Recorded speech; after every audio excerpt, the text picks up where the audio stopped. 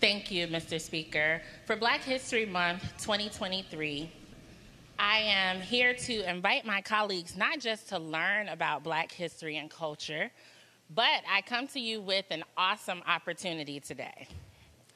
We have the opportunity to actually make Black history. Now, some of you are asking, how? Thank you for asking. In this year, we can make Black history by being the first chamber to actually take action on sickle cell anemia. Sickle cell anemia is an extremely painful, organ damaging, deadly, debilitating disease impacting more than 160,000 Virginians. And every year, sickle cell warriors and those who love them come from across the Commonwealth to this capital, capital begging us to do something. And for years, despite the efforts of Delegate Hayes, Senator Spruill, and others, sickle cell warriors have been treated by this body in the same way they are treated in hospitals across the Commonwealth.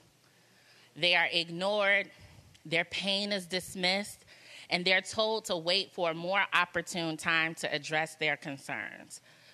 So when I heard in committee someone testify, not anyone in this body, but someone testified in committee about how sickle cell is just not as bad as rheumatoid arthritis. I thought to myself, our ignorance of this disease is killing people. Our ignorance of this disease and sickle cell and the debilitating pain, organ failure, leg ulcers, strokes, pneumonia, priapism, which is a painful sickling crisis of the penis, and described by clinicians as more painful than terminal cancer. And for those of us with sickle cell trait, like myself, our ignorance of this disease is robbing us of life saving preventative care to avoid sudden death like that of 18 year old Quandarius Wilson right down the street. And our ignorance of this disease is costing us millions of care every year. And one can't help but wonder why. Is it because of our Commonwealth's shameful history of medical racism? Is it because sickle cell warriors aren't loud enough and often struggle between hospital bed, home, and trying to advocate for themselves? Is it because we don't live in the right places? And, Mr. Speaker, this year, unfortunately, we missed the mark.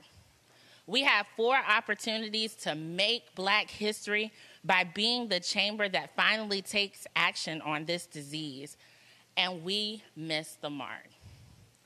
So, my charge this Black History Month is let's make Black history together by bringing forward our own measures to help those with sickle cell in our community because it doesn't matter who gets the credit. We can make Black history by believing sickle cell warriors when they tell us they are discriminated against in hospitals. We can make Black history by expanding funding for adult and pediatric sickle cell care. And Mr. Speaker, I just have to say, because there is a little girl who will be watching this when she gets home from school, and her name is Candace King. And she battles this disease fearlessly every single day. And for Candace, and for every child watching, you should know that you have a voice here.